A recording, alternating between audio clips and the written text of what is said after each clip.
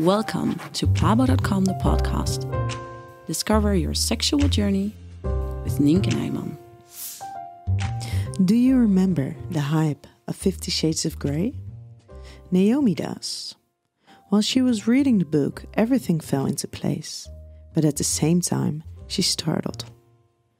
Up until then, she didn't have a memorable sex life. She was okay, but she couldn't really give into it. And to be quite honest, she never understood why everyone made such a big deal about it. Until she read the book, and she was captivated by a man who would tell her what was going to happen in bed instead of asking her. And although she always advocated for bed partners who were very respectful and aware of boundaries, she noticed that she needed more than that.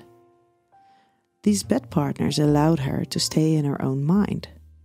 They let her think about her own needs, the things she would like, but also the things that she wouldn't like. And from these thoughts, she would often end up with the issue What am I doing here in bed with this man? and then she would pull out, most often literally by leaving them in the midst of the night.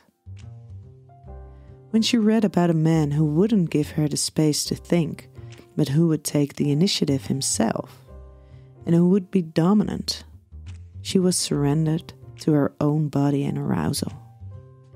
She couldn't do anything else but feel. There was no more room for her own doubts and thoughts. She needed to be dominated by a man. She needed that, within the boundaries of her wanting, he would tell her what was about to happen instead of asking her. And so she did. After she read that book, she would only share her bed with men who promised her to take all the initiative, who promised her to love her body so intensely that her mind wouldn't have a chance to think about anything.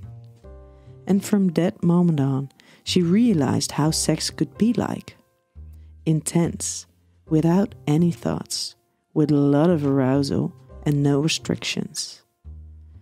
She now knew what it is she needs to long for sex, and by knowing so, she discovered a new part of her sexuality.